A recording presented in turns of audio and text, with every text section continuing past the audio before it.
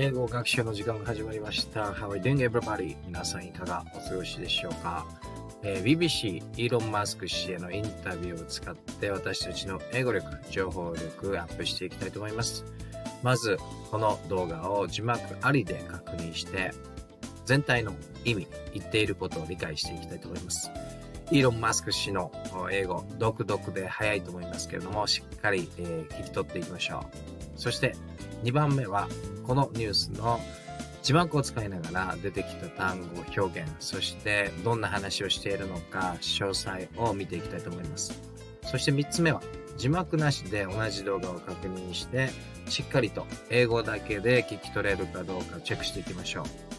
そして4つ目は、日本人が苦手と言われている英語でのスピーキング力アップのために字幕を使いながらネイティブの英語の真似をして原稿を音読することによって英語を話すことに慣れて私たちのスピーキング力どんどんアップしていきましょう。この動画を見て情報を得た後あなたはどんな感想を持ったのかということを自分の言葉で英語でスピーチする練習も Google 自動翻訳を使ってやっていきたいと思います。自分の思いを英語で相手に伝える表現するというより実践的な英語力も一緒にアップしていきましょう。ぜひ動画最後までご覧ください。英研究家事チャンネル、英語学習に使えるな、楽しいな、え情報も取れるな、なんて思った方はぜひチャンネル登録よろしくお願いいたします。それでは、Let's check this BBC interview to Elon Musk with subtitles at first. 字幕ありでこの動画見ていきましょう。Let's check this out. I, I think it was around just under 8,000 and 8, we're about 1,500 right now. Okay. And it, has it been hard letting that many people go? Yeah, it's not fun at all. It's painful. The, the company's either going to go bankrupt uh, or if, if we do not cut costs immediately, um, this is not a, a caring, uncaring situation. It's like if the whole ship sinks, then nobody's got a job. This hasn't been some sort of party. Um, so uh, it's been really quite a stressful situation. So it's been quite painful, um, but I think uh, at the end of the day, it, it should have been done. I think did I, were there many mistakes made along the way? Of course, um, you know, um, and uh, but at, you know, all's well that ends well. I know the BBC, for example, is not thrilled about being labelled uh, state-affiliated media. I mean, our goal is simply to uh, have um, you know, uh, to be as uh, truthful and accurate as possible. We're uh, adjusting the label to be publicly funded, which I think is perhaps uh, not too objectionable. Have I shot myself in the foot with tweets multiple times? Yes. I think I should not tweet uh, after 3 a.m. If you're going to tweet something that uh, maybe is controversial, save it as a draft and look at it the next day and see if you still want to tweet it. I sometimes sleep in the office there's a, a, library that nobody goes to uh, uh, on the uh, seventh floor, and uh, there's a couch there, and I some I sleep there sometimes. さあどうでしょうか字幕ありでこの動画、インタビュー動画見てみましたけれども、非常に、えネイティブ英語、早いですよね。えー、そしてイーロン・マスクさんですね。英語、非常になんというか、聞き取りにくいというかですね、まあネイティブだったら聞き取れるんだと思うんですけれども、えー、私たち日本人にとってですね、なかなかはっきりと発音しないんではないかなと思いますね。なんかごちゃごちゃごちゃっと話しているような感じですけれども、聞き取れましたでしょうか？え、それではですね、この右側の字幕を使いながら一体どんな内容を話していたのか、そしてどんな単語、表現が使われているのか一緒に見ていきましょう。えー、まずここからですね。I think it was wrong just under 80,000 and we are about 15,000 right now ということで、まずこの最初の部分をですね、今のツイッターのですね、えー、解雇と現在の従業員について話していましたので、えー、私は思うということで、it was wrong just under 80,000、まあ、従業員8000年以下というのはですね、wrong、まあ、間違っていたと思うと。えー、そして、we are about 15,000 right now。今現在はまあ従業員1500人ぐらいとこう言ってるわけですね。で、OK, and has it been handwriting out that many people go? ということで、インタビュアーがですね、そんなたくさんの人たちをですね、let out, go, まあ、解雇するっていう意味ですけども、そんなたくさんの人たちを解雇して、hard, まあ、辛くなかったかとこう聞いてるわけですね。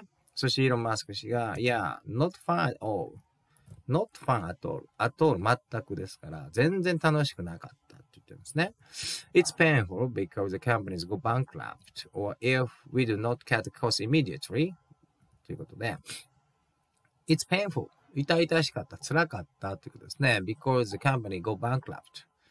えーこの Twitter、tweet、Twitter ですね。この会社が go bankrupt。まあ、倒産することになるだろうということですね。そして if we do not cut costs immediately。まあ、すぐにですね、えーコストカットをしなければ倒産することになってただろうと。まあ、辛かったよ。painful だとこう言ってますね。え this is not a caring, uncaring situation. It's like if whole ship sinks, then nobody's gonna job ということで、えー今回の決断というのはですね、caring, uncaring situation。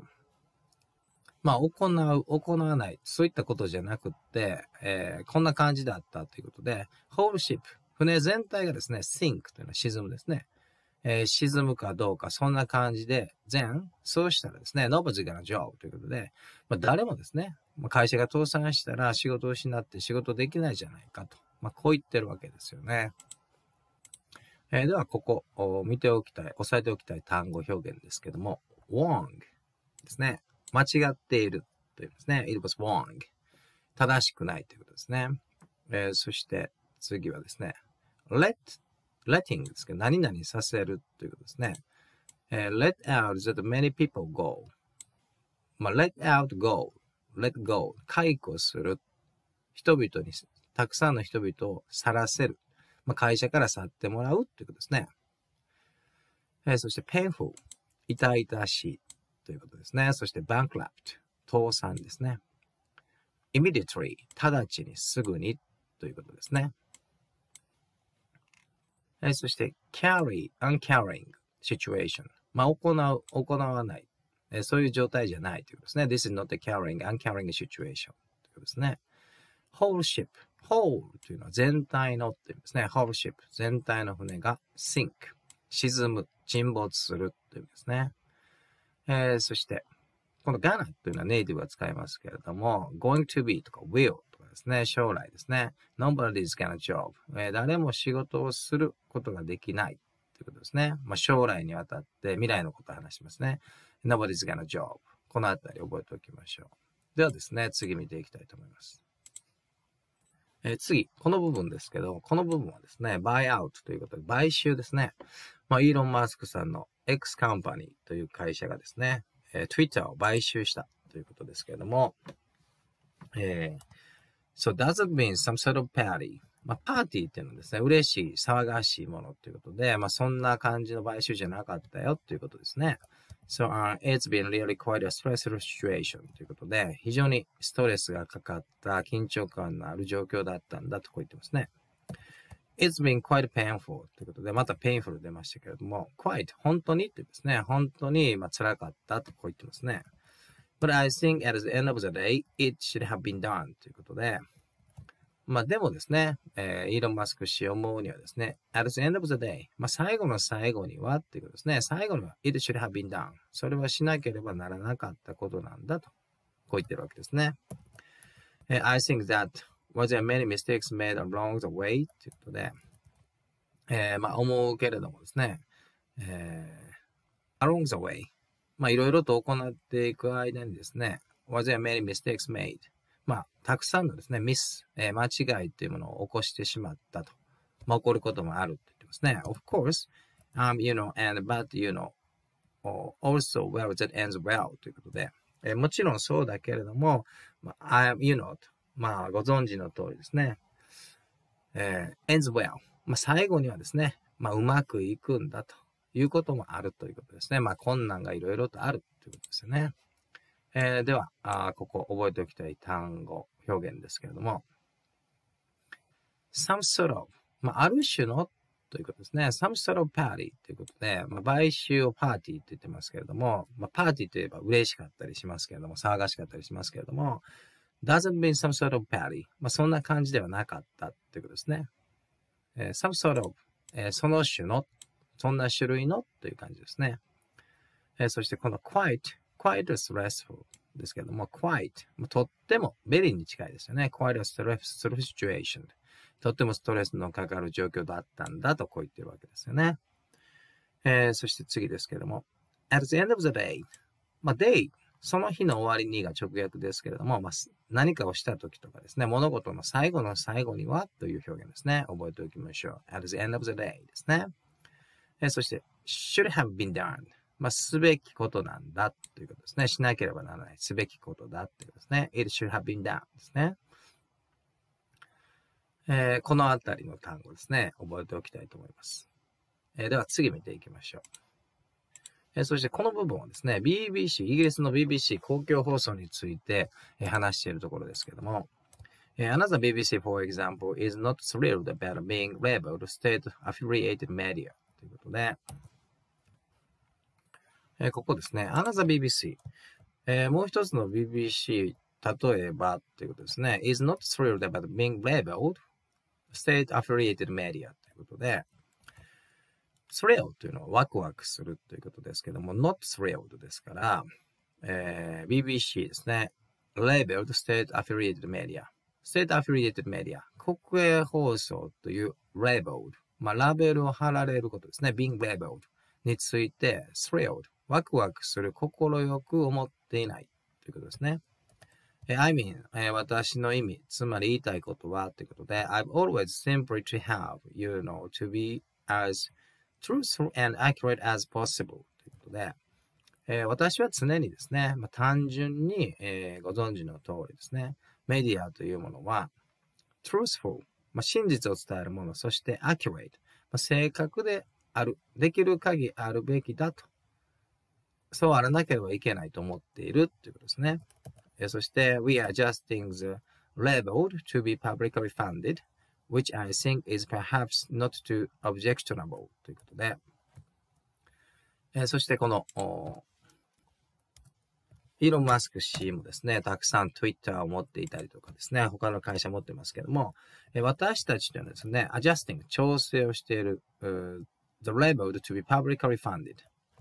publicly funded というのは国営ではなくてですね、民間のですね、民間の基金、publicly funded 公的資金ですね。公的資金によって、えー、まあ、ラベル、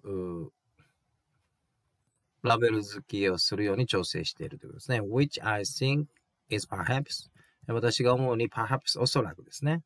not to objectionable ということで、objectionable これですね。objectionable 好ましくない。反対すべきという意味ですから、not to objectionable まあ、それはですね、あんまり反対されるべきではない。間違っていないことではないかとこう言ってるわけですね。オブジェクショナブルが好ましくないですから、好ましくない not ことではないっていうことですね。えー、ここで覚えておきたい単語ですけれども、thrill。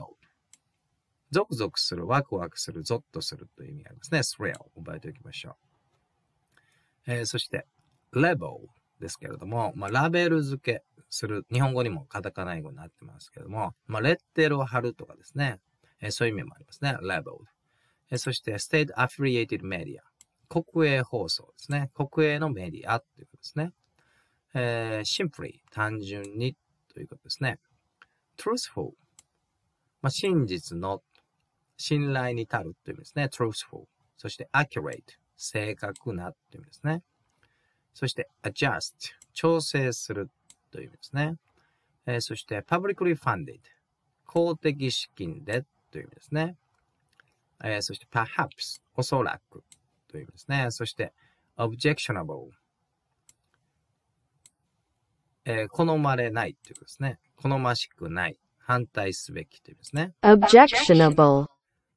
えー、このあたりの単語表現を覚えておきましょう。では次見ていきたいと思います。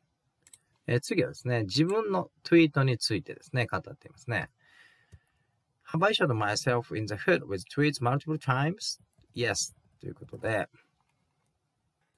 えー、ここですけれども、shot myself in the foot で墓穴を掘るという意味ですね。ですから、えー、Have I shot myself in the foot with tweets multiple times? Yes. ということで、えー、墓穴を掘ったことがツイートでですね、何回もあったかということであれば、yes, あったよ、とこう言ってるわけですね。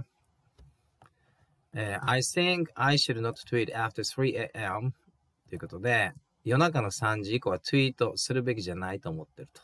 if you're gonna tweet something 何かをツイートしようとするときですね。But maybe it's had virtual.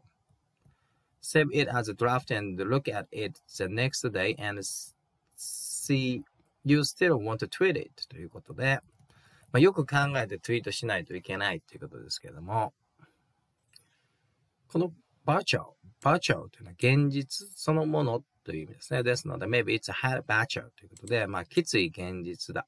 おそらくそれはきつい現実だけど、ということですね。えー、そして save it as a draft。えー、ドラフトですね。下書きとして、まあ、置いておいて、そして look at it the next day。次の日に確認してですね。see っていうのは確認するっていうことで、you still want to tweet it。まだそれをツイートしたいのかどうかよく考えた方がいいと自分の経験を照らし合わせてですね。夜中3時以降はツイートしないと。すぐにツイートするんではなくて、1日寝かして次の日に考えてツイートしてもいいかなと思ったらツイートするようにということですね。では、ここ覚えておきたい単語表現ですけれども、shot myself in the foot ということで、墓穴を掘るという意味ですね。直訳すると自分の足を拳銃なんかで撃つという意味ですけども、まあ、墓穴を掘るという意味ですね。覚えておきましょう。multiple times 多数ということですね。何回もという意味ですね。えー、そして tweet もう動詞になってますね。ツイートするということで、ツイートに、えー、コメントを載せることですよね。えー、そして virtual ですけれども、現実という意味ですね。hard virtual 厳しい現実ということですね。え、そして draft、下書きという意味ですね。え、そして、ここの see ですね。確かめる、確認するという意味がありますね。next day and see you still want to tweet it ですね。まだ、え、ツイートしたいのかどうかを see ちゃんと確かめるということですね。えー、では、最後ですね。えー、この部分、うん、オフィスで寝ることがあるのかと聞かれて答えてます。I sometimes sleep in the office ということで、時々オフィスで寝ますということですね。まあ、忙しいんでしょう。There's a library that nobody goes to on the seventh floor ということで、まあ、誰も使っていない library、まあ、図書室がですね、7階にあるということですね、オフィスの。And there's a couch there. couch, ソファですね。日本語で言うソファ、couch と言います。覚えておきましょう。And I have some I sleep there sometimes ということで、まあ、時々その7階のですね、図書室のカウチ、ソファーで寝ている時もあるということですね。何時間ぐらい寝るんでしょうね。イーロン・マスクさん。さあでは、えー、ここで覚えておきたい単語ですね。library。R と L の発音が難しいですけども、library ですね。図書館。えー、そして、couch。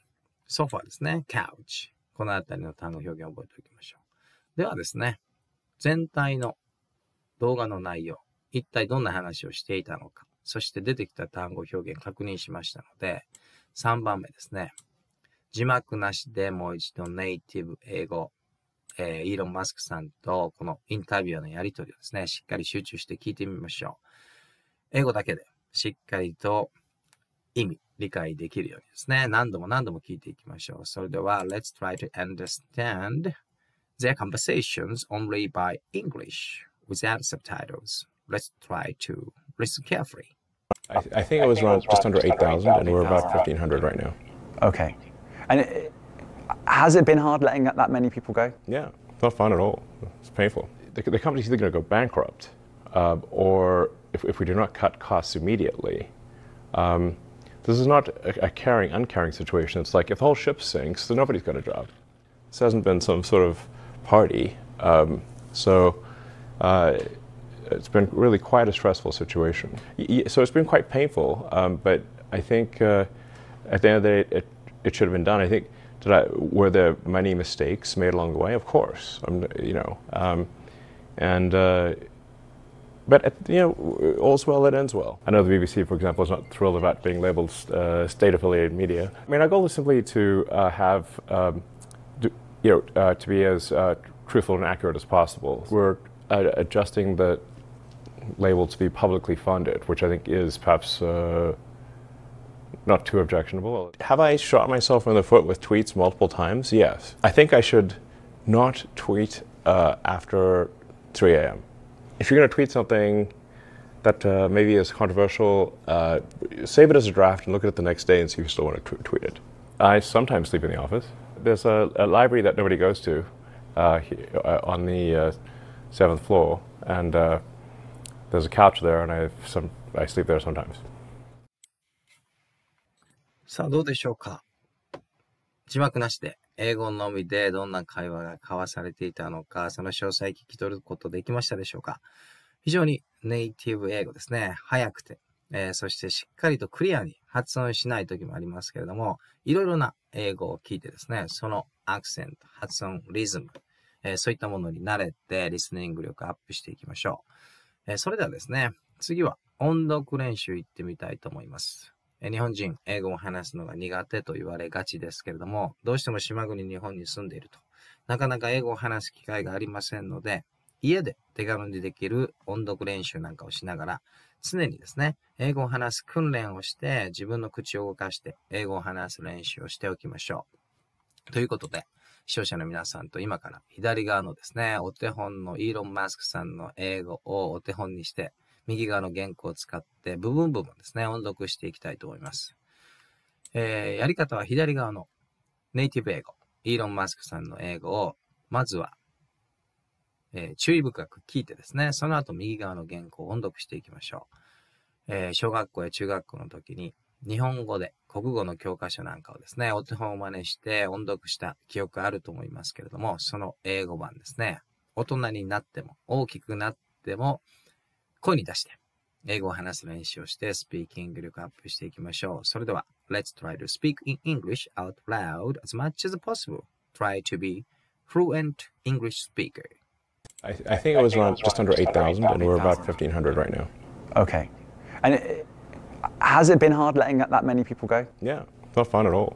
It's painful. The, the company's either going to go bankrupt, uh, or if, if we do not cut costs immediately, um, This is not a, a caring, uncaring situation. It's like if the whole ship sinks, then nobody's got a job.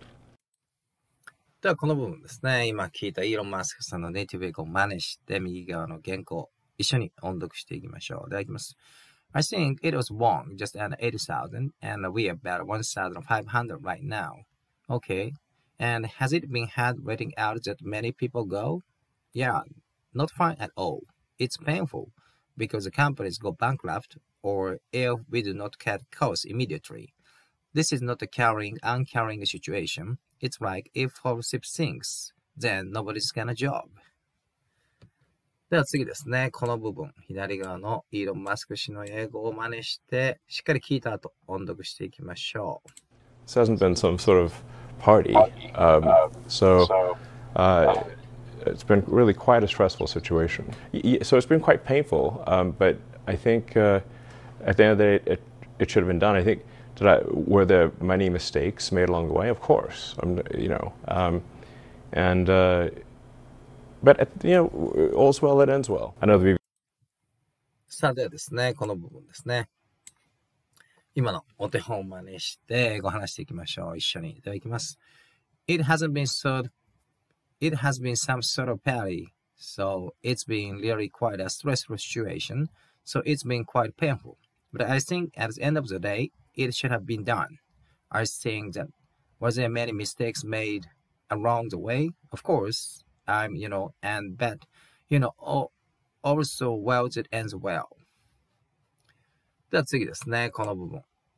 左側の手本英語を聞いて、その後音読いきましょう。Well, it ends well. I know the BBC, for example, is not thrilled about being labeled uh, state-affiliated media. I mean, our goal is simply to uh, have um, you know, uh, to be as uh, truthful and accurate as possible. We're uh, adjusting the label to be publicly funded, which I think is perhaps uh, not too objectionable.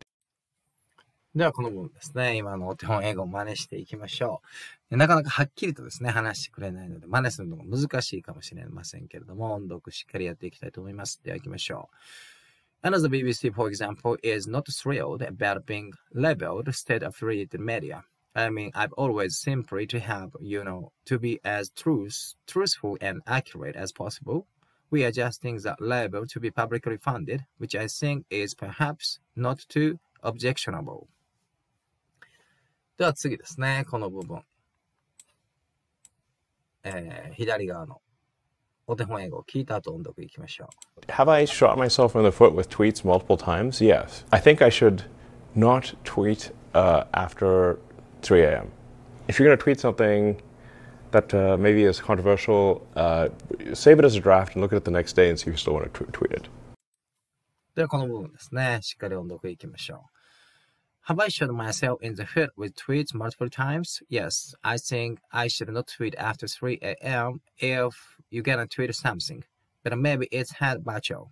Save it as a draft and uh, look at it the next day and see you still want to tweet it. ではこの最後の部分ですね。左側のイーロン・マスク氏の英語を聞いて真似して音読いきましょう。 I sometimes sleep in the office. There's a, a library that nobody goes to uh, he, uh, on the uh, seventh floor, and uh, there's a couch there, and I some I sleep there sometimes. ではこの部分ですね。音読いきましょう。I sometimes sleep in the office. There's a library that nobody goes to on the seventh floor, and there's a couch there. And I have some, I sleep there sometimes. さあ、どうでしょうか？視聴者の皆さんもしっかりですね、ネイティブ英語を聞いて、そして右側の原稿で音読しましたでしょうか？やはりスピーキング力をですね、上げようと思うと、リスニングするだけではなくて、実際に自分の口を動かして英語、スピーキングする、話す練習をしないと、スピーキング力というのは向上していきませんので、たくさんいろいろな英語を聞いて、そしてお手本英語を真似してですね、えー音読練習とか、シャドーイングをして、実際に英語を話す練習をどんどんしていきましょう。では、次はですね、What did you learn feel from this news? ということで、あなたはこのインタビューを聞いてどう思ったのかということを自分の英語でスピーチする練習ですね。自分の感想を述べたり、覚えを述べたりするというより実践的な練習をやっていきたいと思います。使うのは Google 自動翻訳ですけれども、この練習もですね、自宅で手軽にいつでもやりたい時にできますので、ぜひチャレンジしていただきたいと思いますけれども、Google 自動翻訳。英語から日本語の設定にして、このボタンですね。音声入力による翻訳ボタンを押して、英語のスピーチをすると、なんと話した英語すべて Google が文字に起こしてくれます。左側に英語、そして右側にはその英語のですね、日本語訳を表示してくれますので、スピーチが終わった後、自分のスピーチを振り返ることができます。自分の英語の発音、アクセント、まあ、そして使っている単語や表現、そして文法ですね。しっかりと伝わっているのか、英語と日本語でも確認することができます。この練習を繰り返すことによって、より実践的な自分の意思、思い、そういうものを自分の英語でですね、相手に伝えるというより実践的な英語力がどんどん伸びていくと思いますので、ぜひ視聴者の皆さんもトライしてみてください。それではこのボタンですね、音声入力による翻訳ボタンを押して、私が感じたことを英語でスピーチしてみたいと思います。では行ってみましょう。Let's try to my, let's try to speak my opinion in English. Well, the first point I felt when I checked this BBC interview with Elon Musk is that the spoken English by Elon Musk is very difficult to catch up. How about you, all viewers? Could you catch up spoken English by Elon Musk?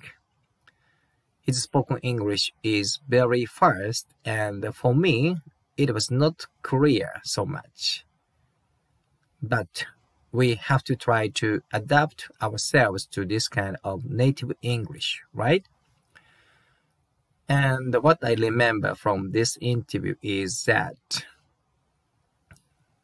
how Elon Musk tweet his tweet. This was interesting. He said that he will not tweet after 3 a.m. And what he said is first, he will make a draft and uh, he will not immediately tweet it. He will wait one day till next morning and uh, he, will, he will check it again. He will check that draft again in the morning and if he feel still he wants to tweet it, then he did it. This is very interesting.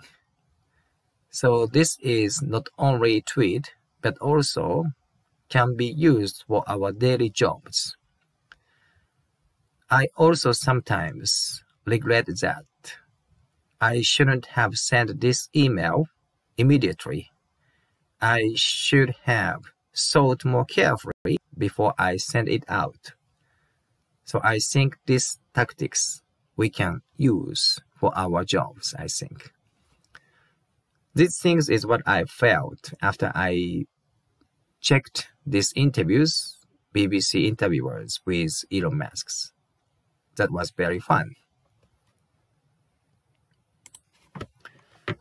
こんな感じでですね、自分の話した英語、すべて文字に起こしてくれますので、スピーチが終わった後、えー、自分のですね、話した内容を英語と日本語で確認することができます。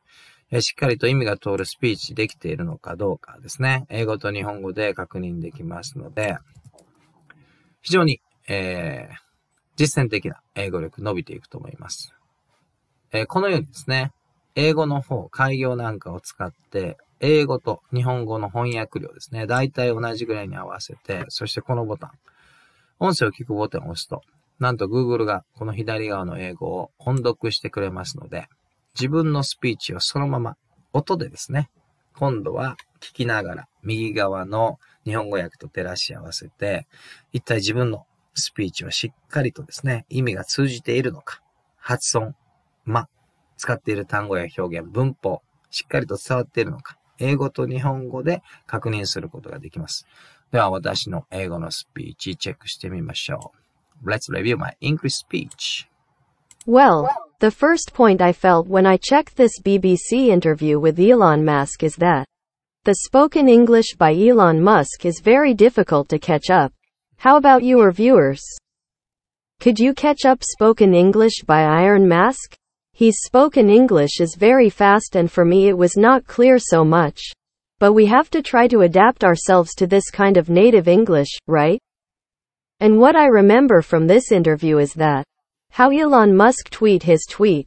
This was interesting. He said that he will not tweet after 3 a.m. And what he said is first, he will make a draft and he will not immediately treat it. He will wait one day till next morning. And the favorite, he will check it again. He will check that the draft again in the morning. And if he feels still he wants to tweet it, then he did it. This is very interesting. So this is not only tweet but also can be used for our daily jobs. I also sometimes regret that. I shouldn't have sent this email immediately. I should have sold more carefully before I send it out. So I think this tactics we can use for our jobs, I think. These things is what I felt after I checked this interview's BBC interviewers with Elon Musk. That was very fun. こんな感じでですね、 英語と日本語で自分のスピーチ振り返ることができますので、え自分の発音がですね、しっかり通じていない部分とかですね、え、意味がおかしくなっている部分、単語とか文法ですね、そういったところもしっかり確認できますので、非常にえ、実践的なですね、英語力を伸ばしていく練習がこの Google 自動翻訳を使うことによってできると思います。最初はですね、短くてもいいと思いますので、ぜひ視聴者の皆さんもですね、自分の思っていることを英語で相手に伝える、話して相手に伝える練習してみてはいかがでしょうか。では、左側の英語をですね、少し手直しをして私の意見としてまとめておきたいと思います。えー、こんな感じでですね、英語、えー、訂正してみました。参考にしたいな、見てみたいなと思う方はですね、えー、動画一時停止ボタンを押して参考にしていただければと思います。皆さんもぜひですね、自分の思いを英語で話す練習どんどんして、より実践的な英語力を身につけていきましょう。いかがだったでしょうか？今回の時事ニュースで英語学習。えー、BBC のですね、イーロン・マスク氏へのインタビューを使って私たちの英語力、そして情報力をアップしてみました。えー、イーロン・マスク氏、ツイートの仕方面白かったですよね。よく考えてからツイートしないと、墓穴を掘るということで言っていましたね。えー、引き続き、英語力アップ、情報力アップにつながる動画上げていきますので、英研究家事チャンネル、英語学習に使えるな、楽しいな、情報も取れるな、なんて思った方は、ぜひチャンネル登録よろしくお願いいたします。一緒に英語力と情報力どんどんアップしていきましょう。Thank you very much for watching my video till the end. I hope you enjoyed my video and you could learn new English vocabularies and expressions and information in English from this video. If you like it, please subscribe my channel. I hope you will check my next video as well. Thank you for watching. Have a good day and goodbye.